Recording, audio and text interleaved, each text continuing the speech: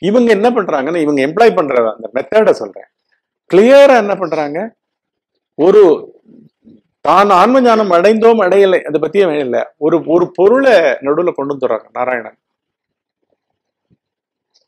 பகவானே ஒரு செய்யுள்ள சொல்லியிருக்காரு. எப்பெயரிட்டு எவ்வுருவில் ஏற்றினுமார் பேருருவில் அப்பொருளை காண்பழியது ஆயினும். காண்பழியது ஆயினும்.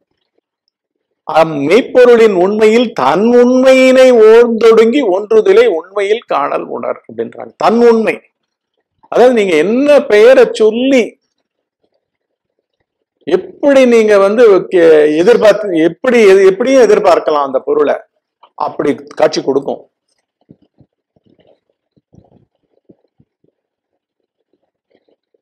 பிறந்த குழந்தைக்கு தெய்வம் தான் தாயாக வருகிறது. கரெக்டா? அதுக்கு என்ன தெரியும் சொல்லுங்க. எத்தனை பேர் வந்து குழந்தைய வித்துட்டு இதுல போய் பப்ளிக் ஆசிரமத்தை எங்கேயோ குப்பை தொட்டியில போட்டு போயிடுவாங்க. எப்படி எப்படியோ காப்பாற்றப்படும் இல்ல. எவ்வளவு சினிமா. கர்ணனே எடுத்துக்கோங்க. அவனுக்குன்னு ஒரு தேரோட்டி அவனுக்குன்னு அந்த கர்ணன்ற ஜென்மத்தினுடைய லைஃப் செதுக்கி வைக்கப்பட்டா போல சம்பவங்களால் உருவாக்கப்படுகின்றது. ஒரு ஒரு ஒரு நான் பாவம் தான் கொள்ளும் மயக்க நிலைகளுக்கு உண்டான சம்பவங்கள் ஒரு மாதிரி.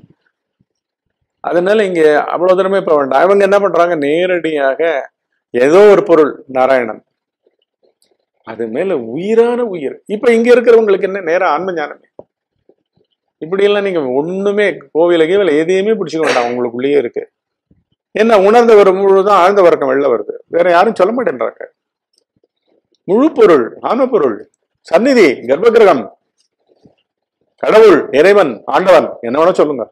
ஸ்ட்ரைட்டா இருக்கு. பூஷ்ணிகா மாதிரி இருக்குது.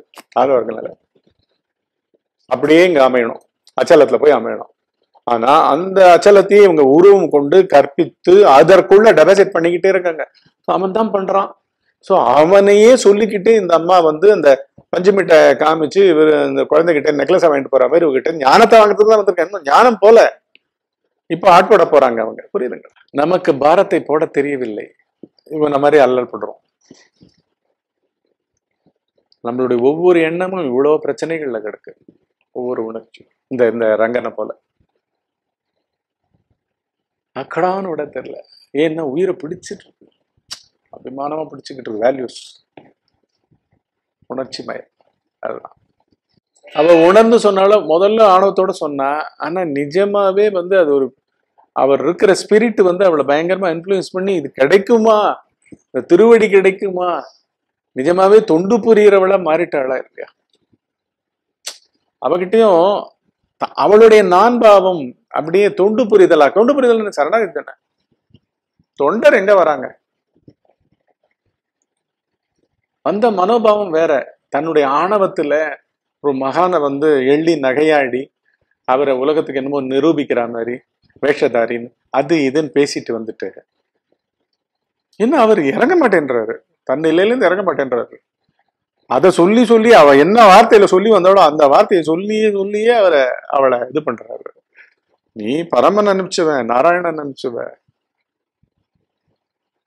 நான் அனுப்பிச்சவன் நாராயணன்னா அவன் எப்பேற்பட்டவன் எனக்கு தெரியும் உனக்கு தெரியுமோ தெரியாதோ அப்படின்னு அப்படியே தூக்கி தூக்கி வைக்கிறாரு. எங்கேயுமே செலுத்த உடல் அவளை. புரியுதுங்களா?